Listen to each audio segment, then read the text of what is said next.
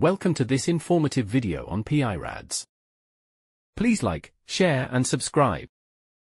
PI-RADS, which stands for Prostate Imaging Reporting and Data System. This standardized system interprets prostate MRI scans, significantly aiding in prostate cancer detection and reporting. It was developed to provide consistency and improve diagnostic accuracy. The latest version, PI-RADS version 2.1, is the focus of this video.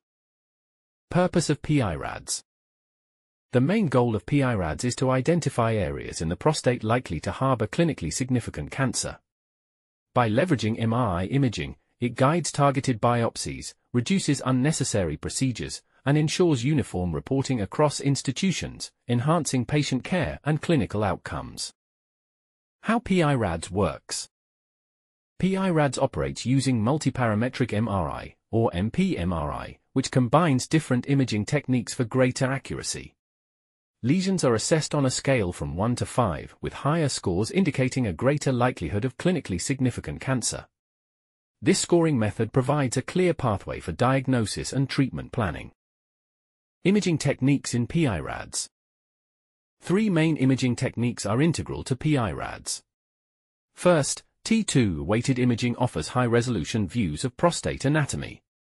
Second, diffusion weighted imaging highlights restricted water movement, often seen in cancerous tissues. And third, dynamic contrast enhanced imaging evaluates tissue vascularity by tracking blood flow. Together, these methods provide a comprehensive diagnostic perspective. PI-RAD scoring system the PI-RAD scoring system evaluates the likelihood of clinically significant cancer. Score 1 means very low likelihood, score 2 indicates low likelihood, score 3 suggests intermediate likelihood, while scores 4 and 5 represent high and very high likelihood, respectively. This scoring guides clinicians in determining the next steps for patient care.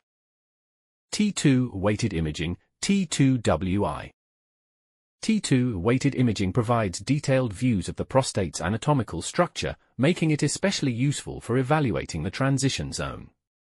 It highlights abnormalities such as nodules or changes in tissue density, playing a crucial role in initial lesion identification.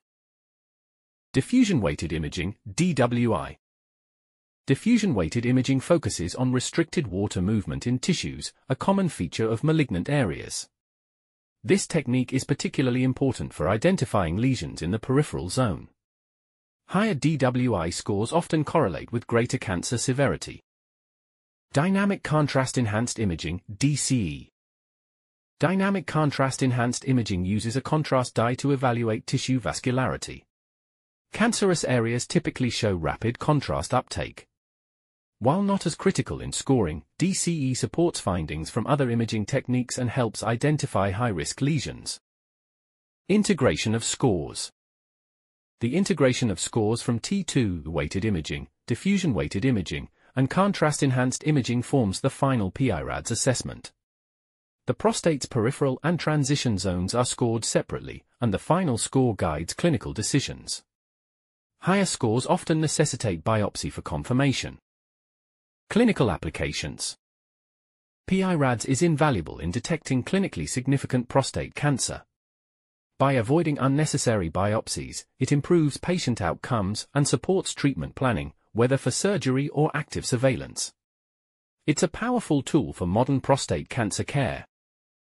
Advancements in PI-RADS Recent advancements include combining PI-RADS with biomarkers like PSA for more precise detection. Artificial intelligence is also being integrated to provide faster and more accurate readings.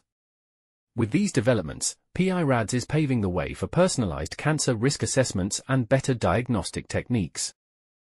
Conclusion In summary, PI-RADS is a critical tool in prostate cancer detection, offering standardized reporting that enhances diagnostic accuracy and reduces unnecessary procedures.